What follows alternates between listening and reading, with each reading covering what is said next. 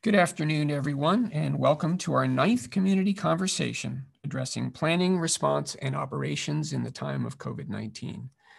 I'm Joe Helble. I'm the provost of Dartmouth College, and I'm joining you as always from the Star Instructional Studio in Berry Library.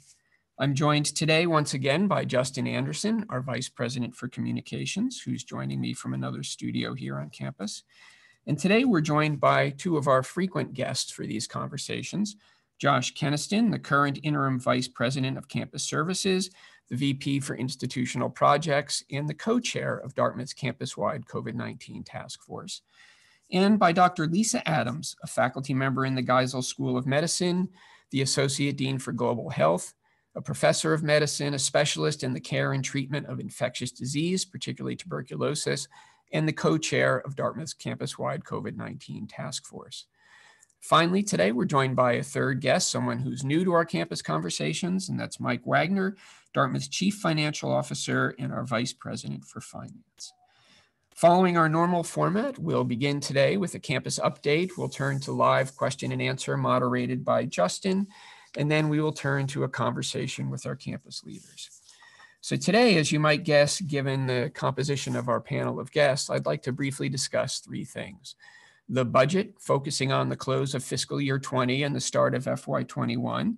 I'd like to provide an update on campus operations, focusing on the libraries in particular and also on research, with an emphasis on the reopening that's taken place successfully for the libraries over the course of the past two weeks. And then speak a bit about academic and operational planning as we look ahead to fall term. But first, before going down these paths, I'd like to return to a question that I addressed two weeks ago at the outset of our conversation, a question related to the international student community, related to the guidance that the Department of Homeland Security's Student and Exchange Visitor Program, or SEVP, issued for international students on Monday, July 6th.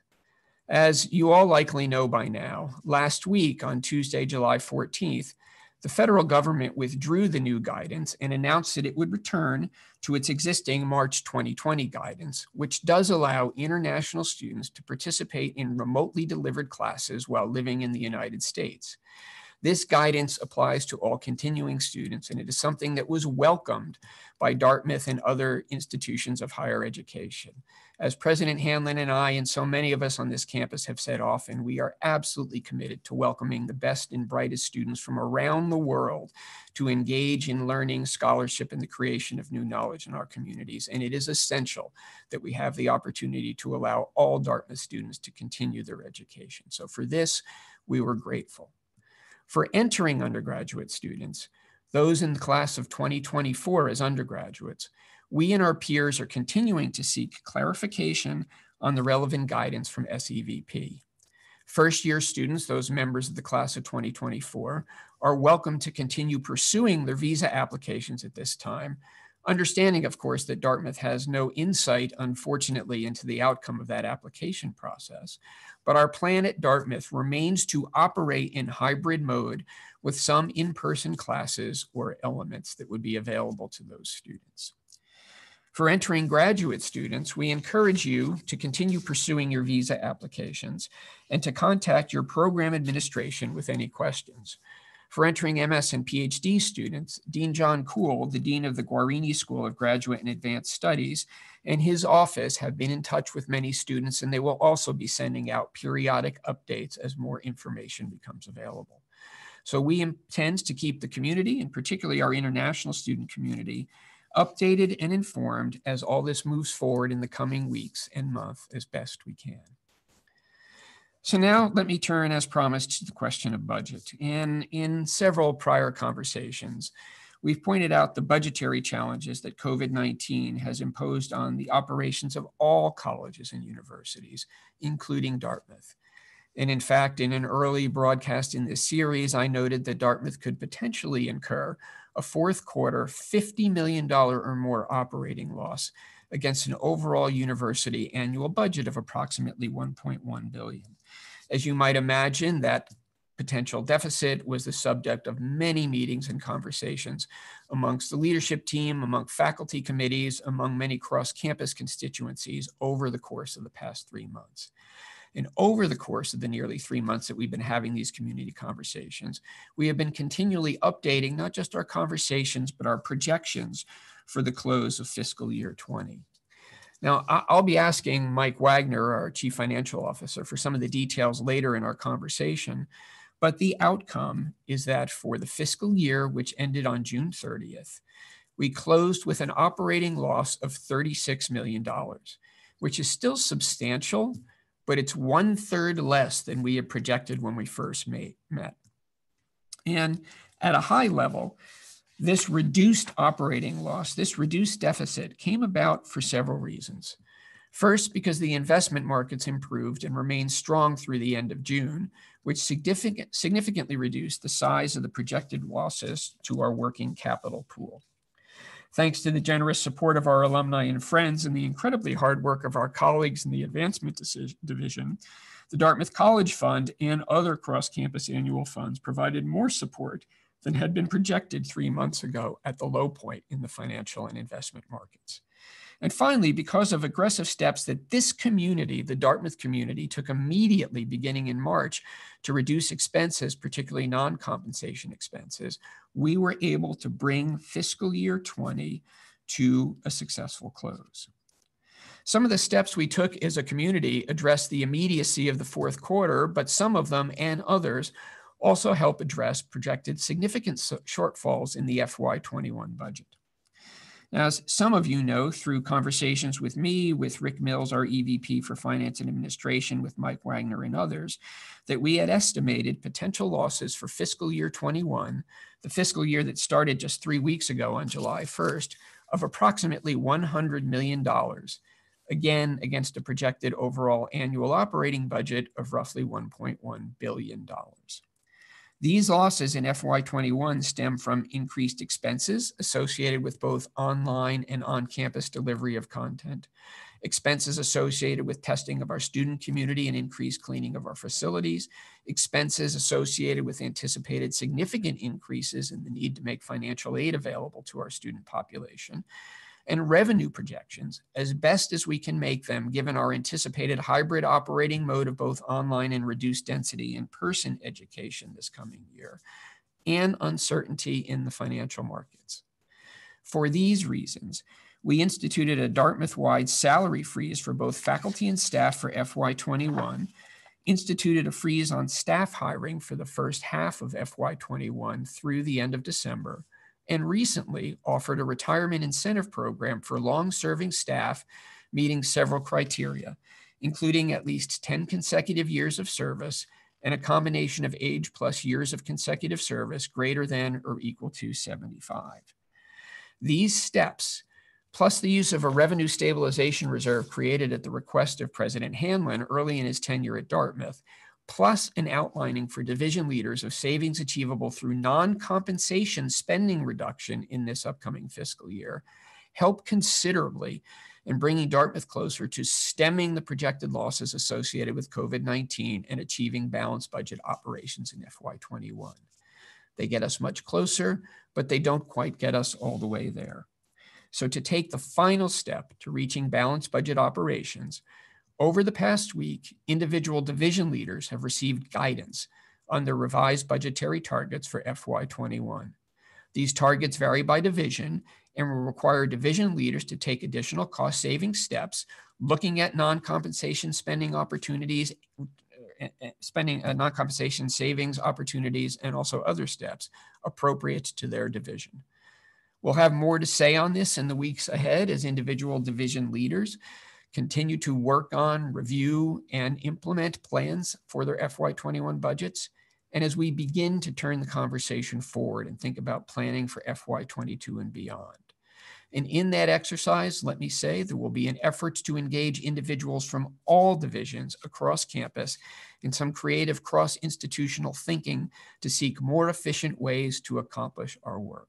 More on that particular opportunity and those cross institutional conversations will be forthcoming within the next two weeks. So let me now return to the operational questions and updates I promised at the outset. And I'd like to first start with the library. particularly the reopening of the library that happened two weeks ago today as of 10 a.m. on Wednesday, July 8th.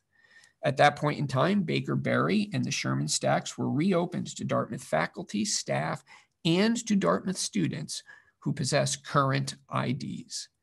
And from what Dean of the Library Sue Mehra reports, that reopening has gone smoothly and, in my view, extraordinarily successfully.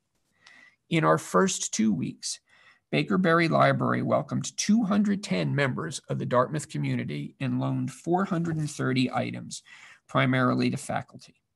Rauner Special Collections had four researchers on site, three faculty and one staff, and has a further three reservations pending this week. Remember, Rauner is open by appointment only. As staff were on site every day, staff were also able to meet research needs of 31 additional researchers remotely.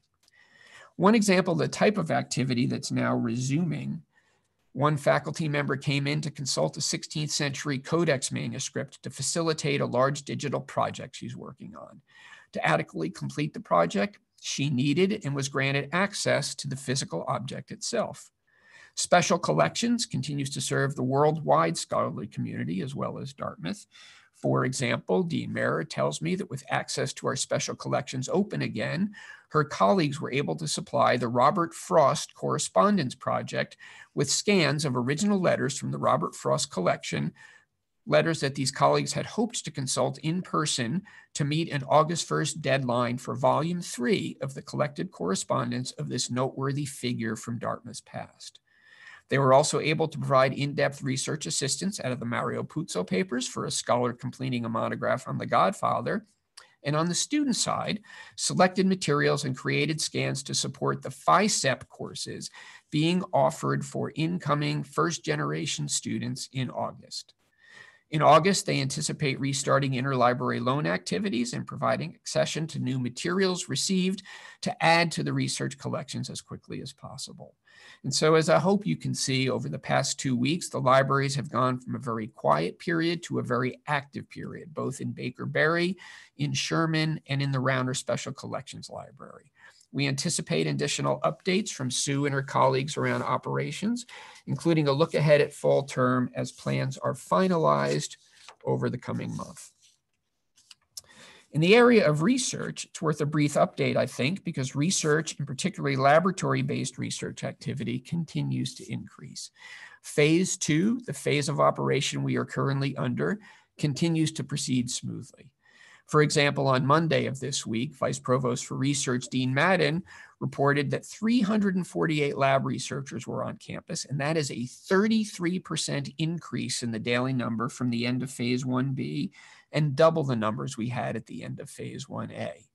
In addition to on campus activity, grant activity also remains strong. For example, the July R01 submissions to the National Institute of Health from Dartmouth increased from 17 million last year to nearly 25 million this year.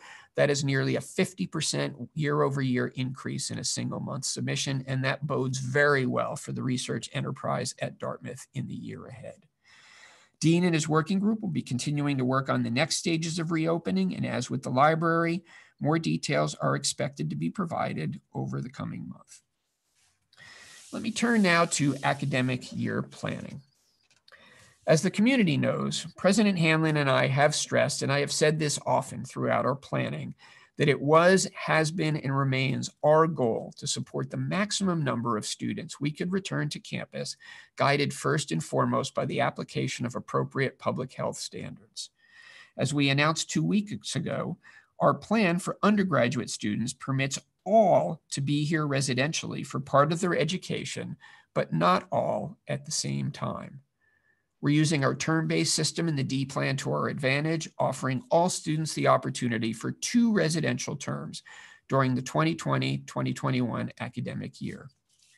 Now, since that announcement, not surprisingly, we've gotten many questions from students and their families about the year ahead. Before I provide a few updates, I thought it might be worth commenting briefly once again on our reasons for taking the approach that we have. First, in developing our plan, we wanted to maximize the chances for it to be a successful plan. In bringing students back to campus, we wanted to do all that we can to be able to keep students on campus for the full term. That's not a guarantee, of course. Neither we nor anyone can guarantee that plans will not change. But we intentionally built buffering capacity, quarantine and isolation capacity for, not, for on-campus residents into our residential housing plan. So to those who have asked why we cannot bring more students back in any given term, that is the answer. And that was an intentional step that Dartmouth has taken. Second, in developing our plan, as I said two weeks ago, but I think it's worth reiterating, it was important to us that we give students some choice. It would have been far easier for us to look at the academic year and simply assign different classes to different terms. But we are committed to supporting the individual student as much as we can. That's embodied in the Dartmouth D plan, which gives students choice. It's embodied in our liberal arts curriculum and our liberal arts education. For me, this is who we are as an institution. I've said often that we'll be informed by decisions made on other campuses, but not bound by them.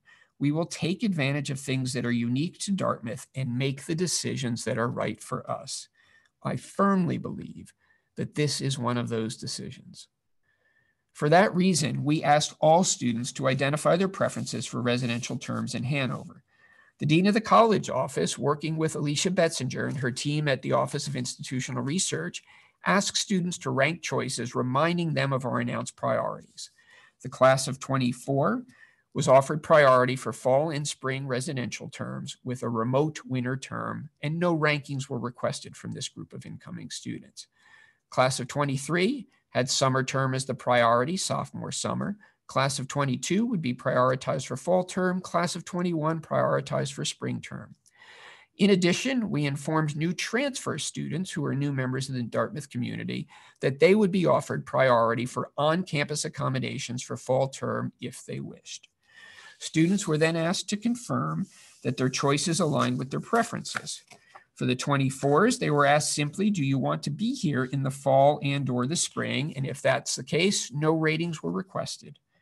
Continuing students and transfers were asked, do you want to be here for your designated priority term? Answer yes, no, and then rank the rest. Those preferences were due Monday evening, July 20th, less than 48 hours ago, and Dean of the College, Kathryn Lively, and her colleagues are now looking at the sorted data with the intention of informing students on July 31st. We know, and I can tell you this today, that we will be able to accommodate all the members of the class of 2024 and the class of 2022 and all new transfer students who requested an on-campus fall residential term. We also know that we can accommodate those students in those classes who have, as I said, designated this as their first priority. Beyond this, we ask you to be patient as we work through the data and determine who else will be offered residential opportunities for the fall term, for the winter term, and the spring term. We will be completing the process by July 31st. Students will be informed on July 31st about their fall term assignments, and more information will be provided subsequent to that date. So let me close this part by saying I thank you for your patience as we work through your responses and your preferences. Once the residential assignments for fall term are made, I anticipate there will immediately be many questions about arrival time, drop off, and the meaning of quarantine. Dean Lively addressed many of these points in her note to students two days ago. And as she stressed, many of the answers to those questions will not be available until the middle of August, specifically the week beginning Sunday, August 16th to help address some of these questions, and particularly those related to the student residential experience over the course of this year, Dean Lively has formed a student advisory committee of 12 students, drawing from members of the classes of 21, 22, and 23 to provide input on student concerns related to campus life, particularly in the era of COVID 19. To those students who've agreed to serve, I'd like to thank you for your willingness to help us address complicated questions that often have no single right answer. Now, finally, let me close with just a few additional comments on the months ahead. I had promised that we would have more information on winter term undergraduate off-campus programs when we next met, and I wanted to be sure that we got to that today before we turned to questions.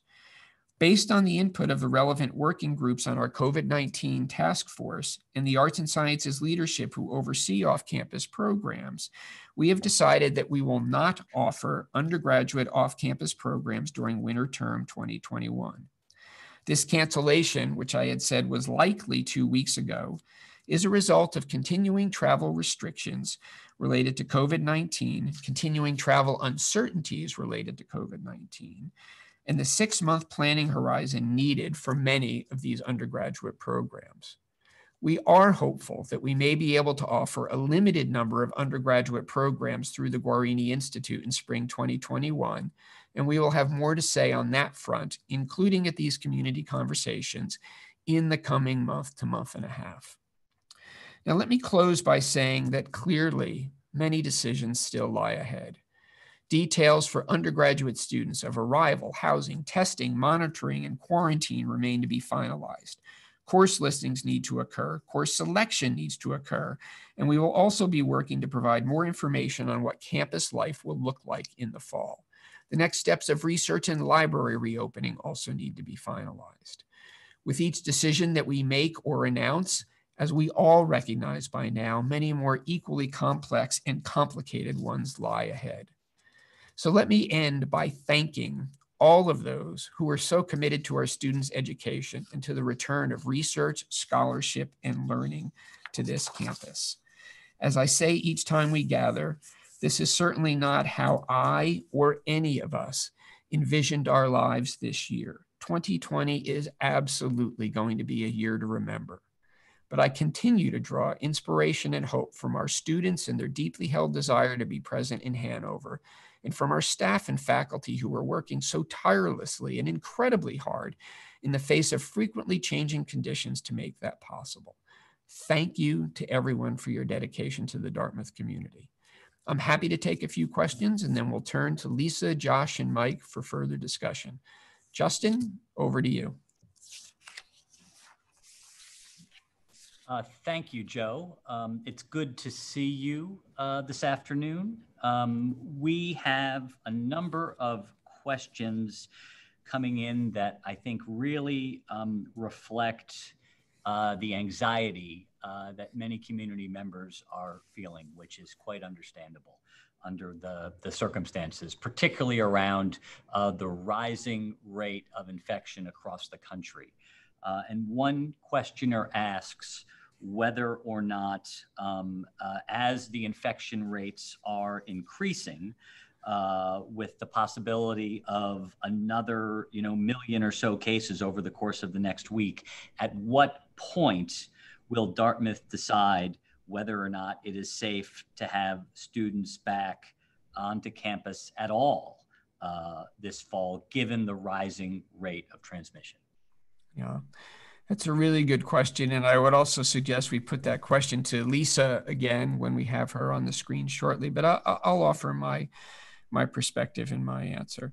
Certainly, we are aware, and I'm aware of the increasing rates of infection. Two weeks ago, I spoke about this and expressed concern that we had now reached the 60,000 new infection per day threshold. And if you look at trends over the past two weeks, I believe it's 10 out of the past 12 days We've gone beyond 60,000 new cases confirmed in a day, and we've had two days with more than 70,000 cases. So to, to put it to, to put it euphemistically, the numbers are not our friend right now. We are very attentive to this. We are looking at the modeling that um, predicts the continuing spread of the disease nationally. We are looking, hopefully, at signs that leaders in different states and communities are taking to be much more serious about masking and social distancing restrictions to impose what had been in place earlier. And we are remaining, I will say, vigilant in watching these trends and seeing if they will help turn the corner on the disease. Lisa can speak to this further, but this is one of the reasons why we are intending to test students as soon as they arrive, why quarantine is an important part of our planning. We have heard from family members who are not excited by the quarantine protocol but in fact, testing and quarantine are two of the most important steps we can take to ensure that we begin the fall term with as healthy a population as is absolutely possible. So the, the listener asks a question about when we might decide to shift in another direction. I'm not going to answer that because there are many, many inputs that go into a decision like that. We are continuing to go down the path of planning extensive testing, monitoring, tracing, and quarantine that we believe, given current trends, will enable us to operate as safely as possible in the fall. But that can't be a guarantee that things won't change in the next six weeks. So the best short answer is we are aware, we are moving forward confidently, but we are being very attentive to what's happening nationally and prepared to adjust our plans if needed.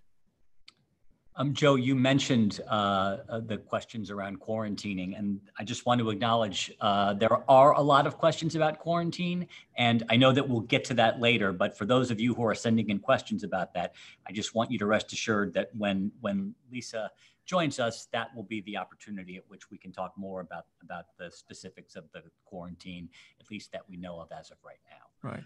Uh, I, I think that would be appropriate, Justin. And also, I'll, I'll just say as a caveat, and this is one of the places where the student advisory group that's working with Dean Lively, we are counting on them to be helpful. Right? They won't be designing the protocol, but they can certainly help us with input on feasibility, workability, and the best ways to make this a manageable experience for our students. Someone writes in uh, acknowledging that uh, students have been told that they are going to have the option of uh, taking any term uh, as a remote term that that will be an option for them that they need not actually physically come to campus that they could remain at home or someplace else uh, to take classes. And similarly um, uh, faculty are being given uh, that option to a great extent. Uh, this person um, asks what about staff uh, particularly staff who have to be on campus in order to do their jobs. And then among that group of staff uh, those who might have um, um, those who might be at risk themselves or have family members at home who are either themselves sick or who are also at risk. So the question is really about the, the flexibility uh, uh, of staff to, uh, to, to be off uh, campus in the interest of their own health concerns.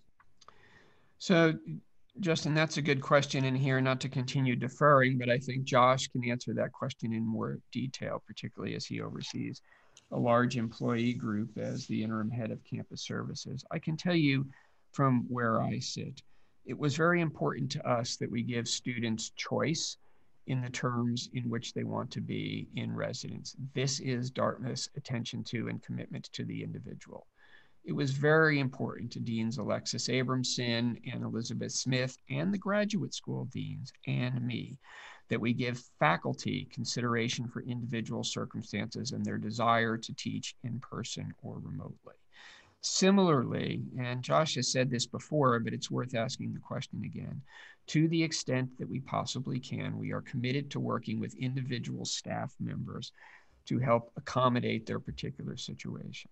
Obviously, we have a challenge. There are some functions which are absolutely essential that they be accomplished in person because of the student facing nature of what they do. But we want to take those questions on an individual staff member basis. We want to see if there are steps we can take that can make that staff member comfortable working in an on campus environment. And if not, is there a way within the organization to help accommodate that individual's needs if someone else might be willing to take on part of the responsibilities? And so it's a commitment to work with people individually as best we can recognizing that for staff as well as faculty and students, there will be circumstances and situations where working physically present on campus may not be the best step for them. Uh, Joe, I, I, I, mentioned when I came on that a lot of the questions reflect uh, the deep anxiety that our community members are feeling. And the first couple questions were uh, related really to uh, concerns about health. There's also a lot of concerns about uh, people's jobs. Um, mm-hmm. You have said in the past that uh, we were committed to the employment of our uh, employees or our staff through July 31st. looking at the That's correct. calendar, it's July 22nd. And so people are clearly wondering about what happens after July 31st. So can, can you address that? The library is now closed. Be advised, the gate to Novack will be dropped in the next few minutes, so please exit the library promptly. Thank you. Can you address uh, what will happen? um, uh, uh, Excuse me, uh, not I'm just. I'm not sure that I can since you need to leave the building. Right, apparently. exactly. Yeah. So what, what, yeah, can you, can you address uh, what will happen, uh, not when the library closes, but after uh, uh, July uh, 30? Right. I, I can and I can do much more on that point, uh, Justin, in two weeks. And so you are absolutely right. And the questioner is right to note that we have made a commitment to keep everyone employed as they were through July 31st. That commitment has not been extended beyond July 31st. I said earlier um, in reviewing FY20 and the projections for FY21 that we have taken all of the cross institutional steps that we can, including using reserve funds that President Hanlon set aside at the start of his tenure for a moment like this, having pan institutional sacrifice by freezing salaries and wages, and by putting in place a hiring freeze. These steps significantly reduce the magnitude of the deficit that needs to be addressed in FY21, but they don't completely eliminate it. We have given managers and division leaders guidance on the opportunity for substantial savings in FY21 through non compensation spending reduction, the kind of adjustments that people made around travel, around events, around materials and supplies, around consulting and other contracts and external labor that we asked them to reduce in fourth quarter of fiscal year 20 but for some divisions, either the balance of what's needed to achieve programmatic goals or their ability to meet the targets simply through non compensation savings is not going to be sufficient. And so individual division leaders are now in the process of formulating plans that will be discussed with me and with Rick Mills and with the other senior officers that will detail how they do it. In some cases, that will mean simply leaving vacancies unfilled or permanently eliminating vacancies. In others, there may be personnel adjustments that need to be made. It will not be widespread. It will not be pan institutional. And I can't project a number because the early retirement incentive offer is on the table right now. And that may, in fact, provide the reduction in employment that is necessary for us to be able to balance our budget for FY21. And so I understand that these next steps create some anxiety, but our intention in putting this range of possibilities in front of managers in trying to provide targets that are achievable significantly through means other than compensation not exclusively, but significantly, will reduce the impact and reduce the number, certainly, of any employment adjustments that need to be made. I can't be more specific than that because it's too early to answer that question, but in two weeks or in four weeks, certainly we'll know a lot more. Uh, Joe, we have time for, for one more question uh, before we get to our guests, and I, I, I think it's a quick one. Uh, uh will uh, the library be uh, physically open and available to all students who are paying tuition uh, uh, when the academic year begins. And then a questioner asked specifically about what you said uh, when you said uh, students with a current ID. So I guess just explaining a little bit more about who will be able to access uh, the the physical uh, Yeah. space, the physical library. So the anticipation is, the, the details have not been finalized, but the anticipation is that students are here for residential learning in the fall. Their ID will provide them access to the library facilities. There will likely be limits on occupancy at any particular point in time. And so there are elements of an operating plan that need to be developed because de-densification is an operating term as we think about all of our facilities. This is why we have reduced capacity in the residence halls. This is why we're approaching dining in the way we are. This is why classrooms will have significantly reduced capacity. And this is why the library cannot be fully opened to all comers without any screening as it had been in the past. We do anticipate all students who will be here on campus with therefore current IDs that, that identify them as residential term students can utilize the library facility. They will not all be able to be in the library at the same time. So thank you, Justin, and thank you all for the questions as always. I'd now like to turn to the second half of our conversation and bring back our guests who are joining us today. Dr. Lisa Adams from the Geisel School of Medicine and Task Force Co-Chair, Josh Keniston, our VP for Campus Services and Task Force Co-Chair, and Mike Wagner, our Chief Financial Officer and VP for Finance. Good to see you all on the screen in front of me, and thanks so much for joining us. Hi, Joe.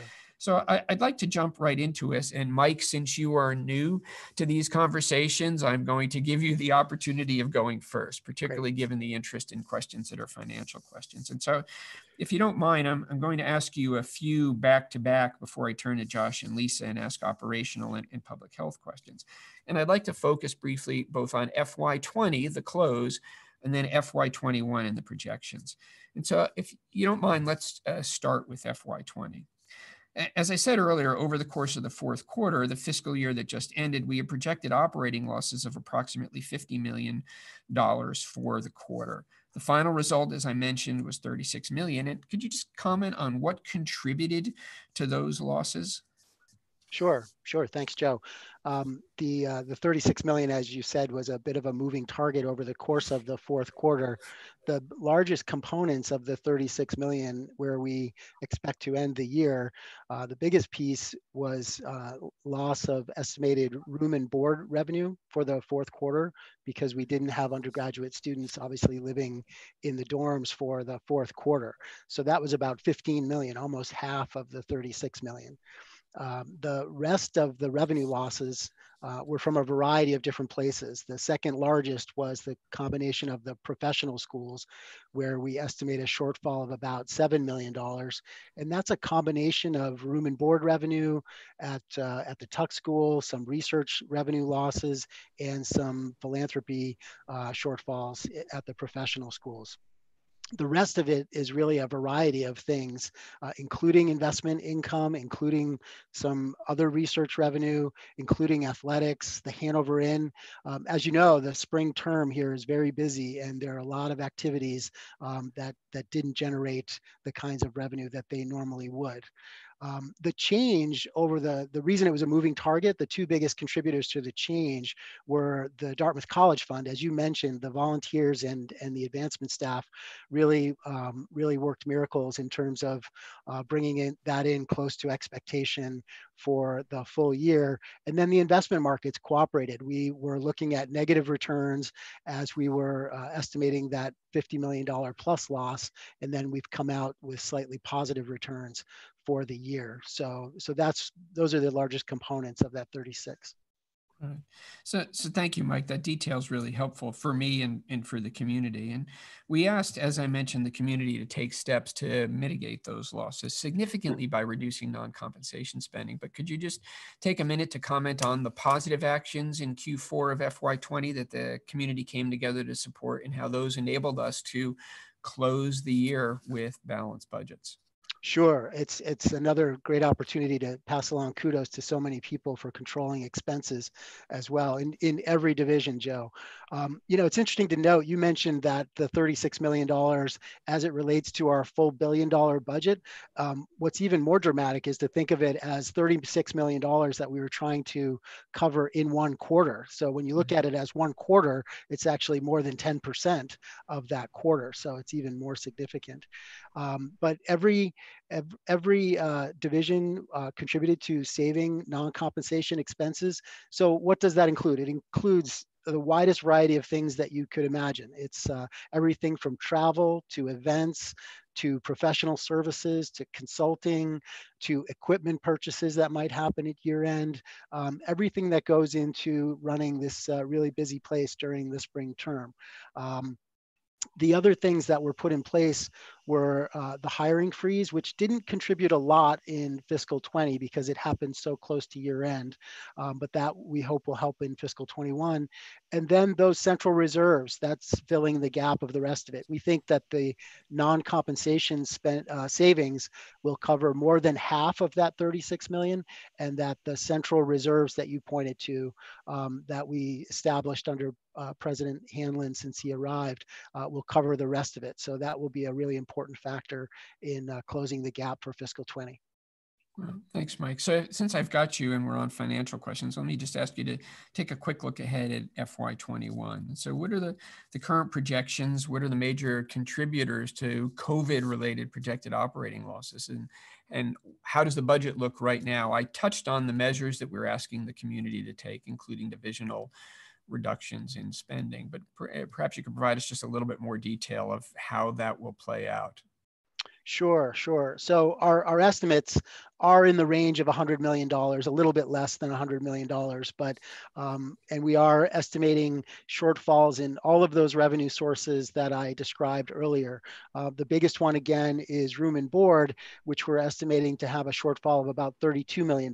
So it's not as easy as taking the 15 million from the spring term and multiplying it by four, because, you know, we are expecting over the course of uh, fiscal 21 that we will have uh, half of the students in residence. So that's why it ends up being 32 million of losses during fiscal 21, lost revenue during fiscal 21.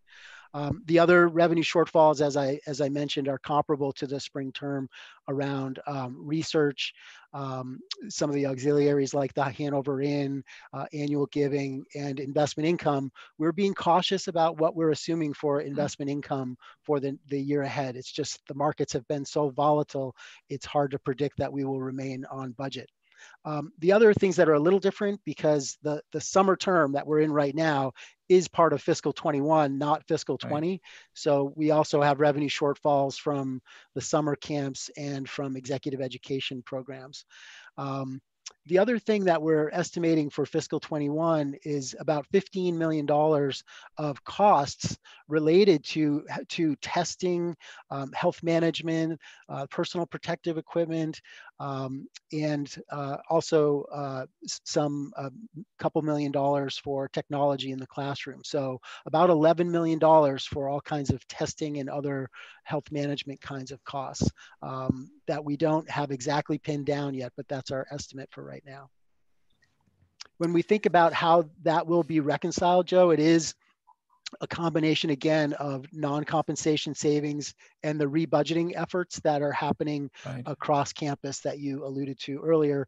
And again using those central reserves to uh, to cover what's not going to be able to be covered from the divisions and from the salary freeze. Let's not forget that. That's about 15 million dollars of expense that will be avoided in uh, in the budget for fiscal 21 so, so thanks, Mike. So let me just ask you one related question, and then I want to turn to Josh and, and Lisa. We know that all universities are struggling with financial challenges. Some, particularly those who own their healthcare system, their hospital system, are facing vastly greater financial operating losses for uh, projected for FY21. What do you what are you hearing from your peers? What what are other institutions doing to address this, and what do we learn from them? Yeah, the stresses are very comparable, which isn't surprising. You know, our revenue mix is pretty balanced. Um, some of our peers are much more reliant on endowment income. So uh, the investment markets coming back are, are really, really important for all of us, but especially those that are even more endowment dependent than, than we are. There are some that have even more uh, significant operations around room and board. So um, them having students on campus or not on campus is really important. The other area that I've heard is a big stressor are those schools that have really significant net revenue contributions from athletics. And those schools, in addition to the clinical revenues that you mentioned, those schools are seeing really large decreases in revenues expected. In terms of the tactics that they're taking, I would say it's very comparable to what we're talking about. Trying to slow down non-compensation spending, rebudgeting in the divisions, um, hiring freezes, salary freezes. Those are those are sort of the toolkit.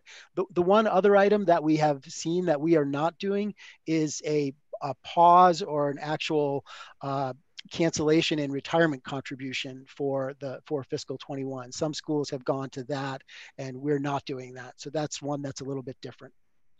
Thanks, Mike. And, and on that point, as you know, I, I was actually quite pleased the way different groups on the community came together to weigh in when we'd surfaced the possibility of thinking about this. And we had really thoughtful conversations from faculty leaders, from staff leaders, from the budget committee and others that helped shape ultimately the decision to not go down that path. And it was an extraordinary demonstration of the Dartmouth community coming together around a shared challenge and leading to a very productive outcome and decision. Agreed. So thank you, Mike.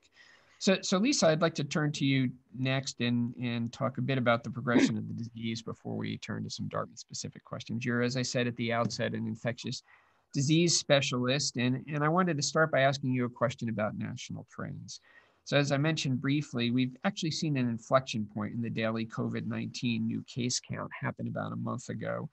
We had been running at about 20,000 new cases per day, and suddenly on June 16th or 17th, depending upon where you put the inflection point, the rise began fairly steeply. We passed in a month over the 70,000 new case per day threshold. And in fact, the slope of the curve, the increase in the rate of new cases per day over the course of mid June to mid July, looks almost identical to what it was in March at the beginning of the pandemic. So, what's driving this, and how does it inform your planning about steps that we need to be taking at Dartmouth? This is in some ways related to the question that Justin relates to me earlier. How are we thinking about the progression of the disease as we plan? Sure. Well, let me say, like you and, and clearly um, our viewers today, I am following these data very closely and have concern and sadness over what many communities and my healthcare colleagues in those communities are experiencing as we watch the rampant spread of COVID in these new hotspots across the country. Um, unfortunately, that summer lull in cases that many of us were hoping to see, it, it just didn't happen. Now, this is a multifactorial situation. There are many drivers to these change of events, but I think it's probably what we're seeing is most likely related to the lifting of lockdown restrictions too early including in states that did not meet federal guidelines for reopening, but did so anyway. Um, some isolated outbreaks in those communities that could not be contained swiftly, um, limited adherence to the individual public health measures, and the fact that all communities where there had been previously little spread, these are largely susceptible populations. So there's probably no need to remind us, but it really, uh, I think, should be be stated that this is what exponential growth of an epidemic looks like. And it is always harder to play catch up once uncontrolled spread starts. So in terms of how the national situation is affecting our planning at Dartmouth, well, as, as you've said, and, and as you know from our conversations, we are looking at this and on a weekly basis, trying to figure out where, what we need to do with our planning process. Um, and as you said, it's, you know, six weeks away. We are, but we will continually on an incremental level be looking at what our plans are and seeing if they remain realistic and feasible and will um, do the best to promote health and safety for our communities, both our um, students, um, employees, and the local community. But one concrete example I can give of how this national uh, data has really affected our planning is that we now we are now carefully considering and actively exploring options for pre-arrival screening and testing of our undergraduate students. Let me emphasize that any pre-arrival testing that would be done would be arranged in an equitable manner to ensure access to all of our students and that results could be guaranteed and a useful turnaround time. Many testing sites now are experiencing significant delays in releasing results and so that's an important consideration for us. And this would all be in addition to our, our post-arrival testing and quarantine practices, which I'm also happy to talk about.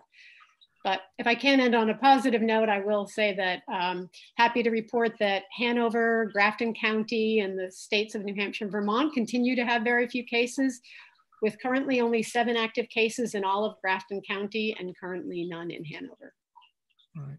That's great, Lisa. So, so thank you. So maybe I let me ask you one quick follow-up question, and then I'll turn to Josh for an operational question or two before we uh, open it up to the the audience. And you've touched on this, and I did as well in my remarks. But our current plans call for a 14-day quarantine on arrival for most students. We're talking about, and you've just mentioned potentially pre-arrival testing, certainly testing at least twice within the first first seven days. So putting that all together, why is that important?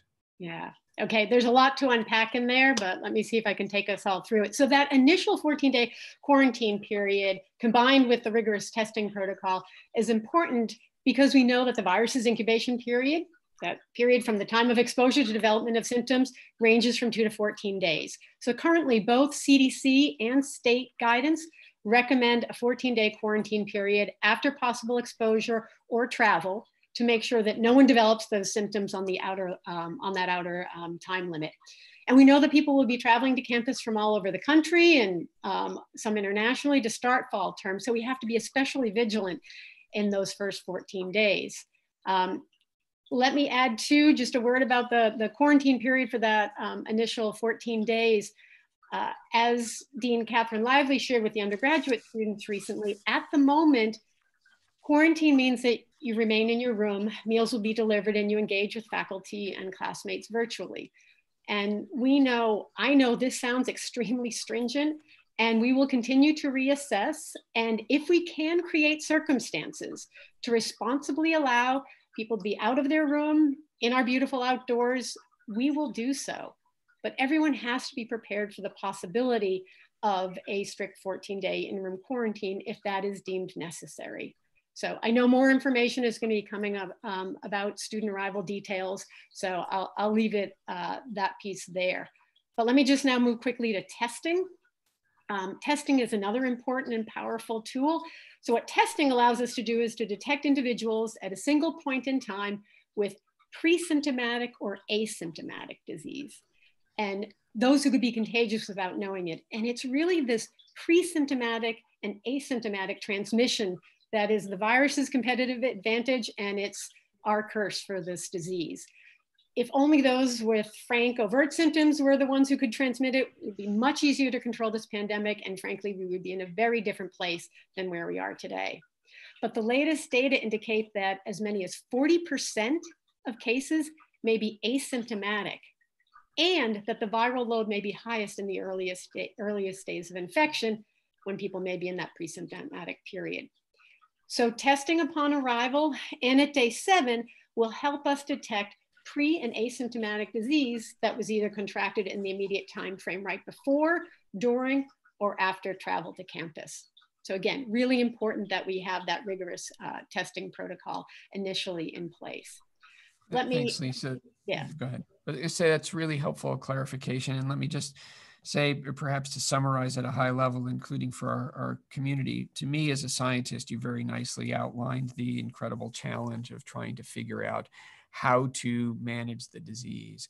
And it stresses the importance of our being very careful at the outset and doing all that we can when students first arrive as we work through that 14 day period to open up the campus as much as possible for the balance of the term. And so, what we're effectively asking the campus to partner with us in doing is understand the importance of taking careful measures at the very beginning to maximize the possibility that we have a successful 10 weeks beyond those first two.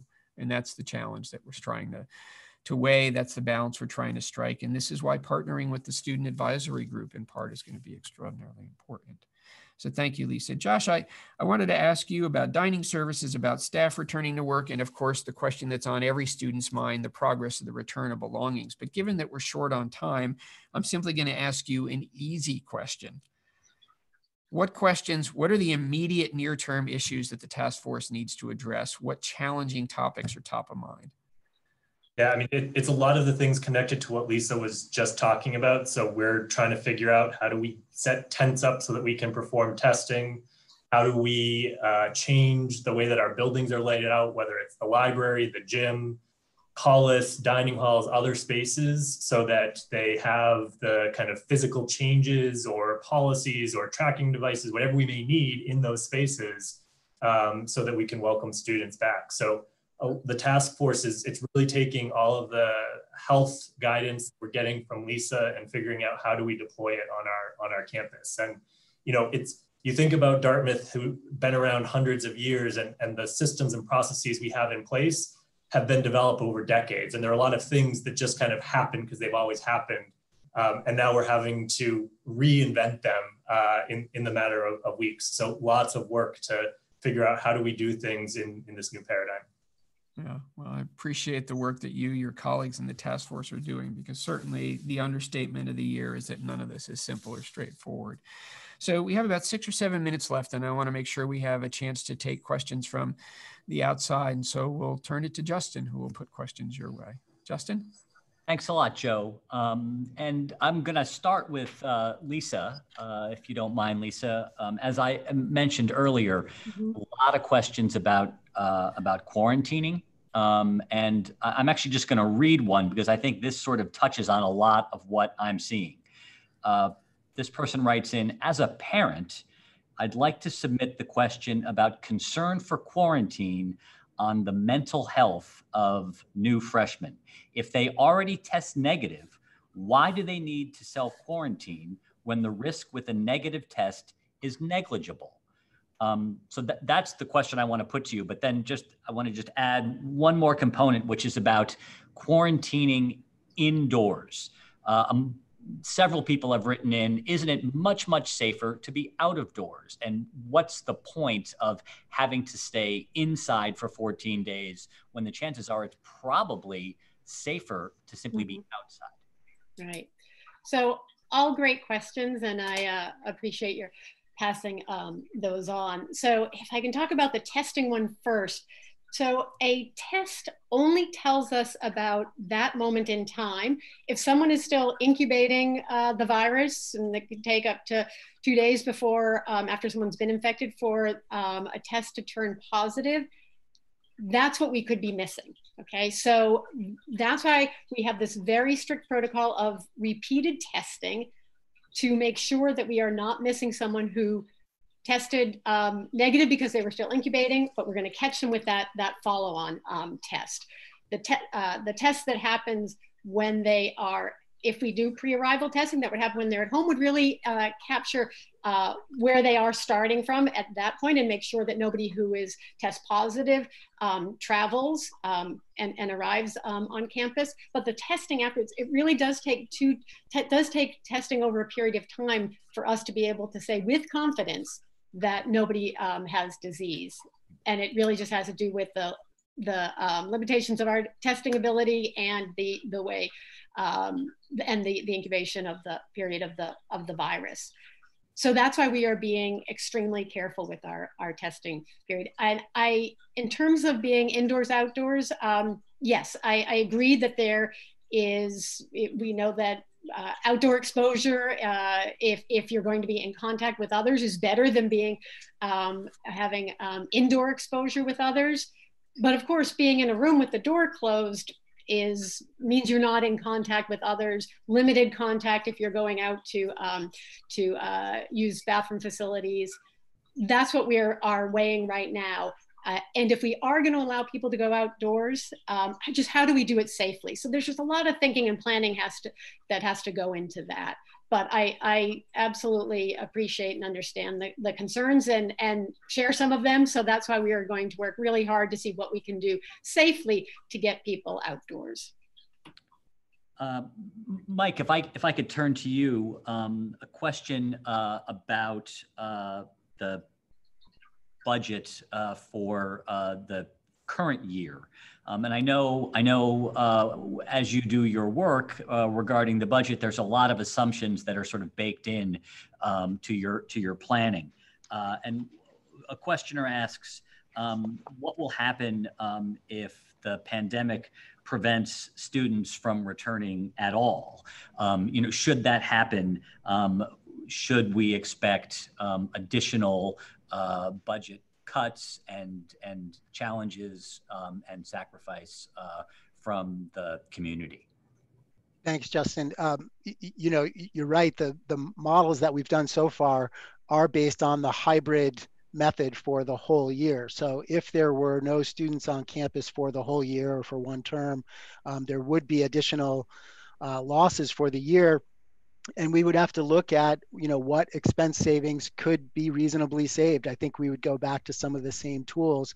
Where could we save on expenses? And we know that there are backstops with our central reserve. So i think we would have to continue to look at the range of tools that we have and see where expense savings make sense and where reserves need to be the backstop because that's what they're there for. Uh, Josh, I'm gonna I'm gonna go over to you, and um, Joe uh, let you off the hook a little bit. Um, I, however, am not going to do that. I want to hear about the belongings. Um, this is the one issue that comes up uh, week after week after week. Um, so uh, it would be great if you could uh, provide an update for our viewers on the status of the belongings and, and getting them returned uh, to students. Thanks, Justin. Yeah, and this is one that I get a lot of emails uh, about as well. So um, as of today, we have packed 98% uh, of the, the student belongings. So we are at the very end of, of the, the packing phase. Um, reminder that there are a couple of phases to this. So after it's packed, we then have to either ship or have students come pick it up or put it into storage.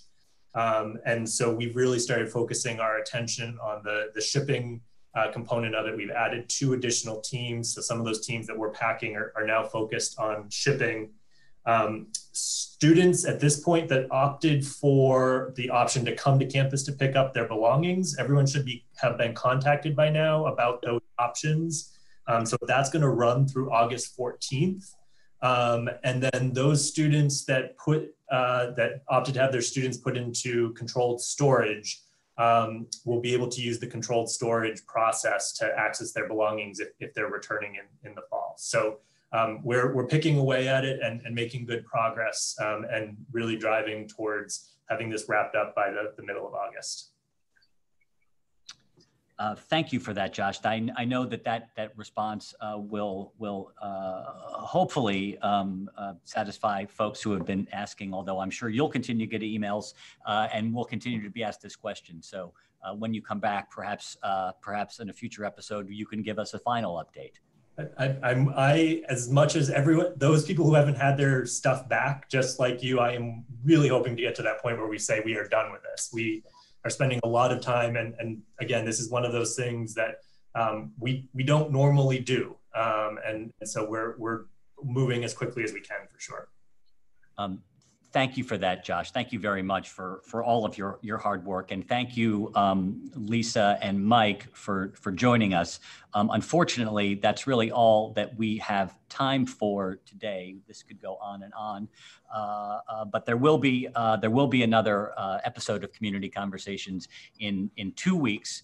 Uh, Joe and I will be back, um, uh, but for now, I'm gonna I'm gonna toss it back to Joe. Joe. Thank you, Justin. And let me add my thanks to Lisa and Josh for being frequent guests and contributing today and providing your insight and leadership of the task force, and Mike for joining us with what I hope was extraordinarily helpful budget detail for the community to have a sense of the challenge we faced and the challenge we successfully addressed in FY20 and how we're working through FY21 in a similar fashion. We will be back in two weeks, as Justin indicated, on August 5th for the next edition of Community Conversations. And there will be a lot for us to discuss and provide, update, provide updates on at that point in time. Student term assignments, course selection, testing and quarantine. We hope to be able to say something more specific, certainly on the testing front, if not the quarantine front. Questions about campus access and continuing discussion of the budget, as well as a range of other issues that we are all working through.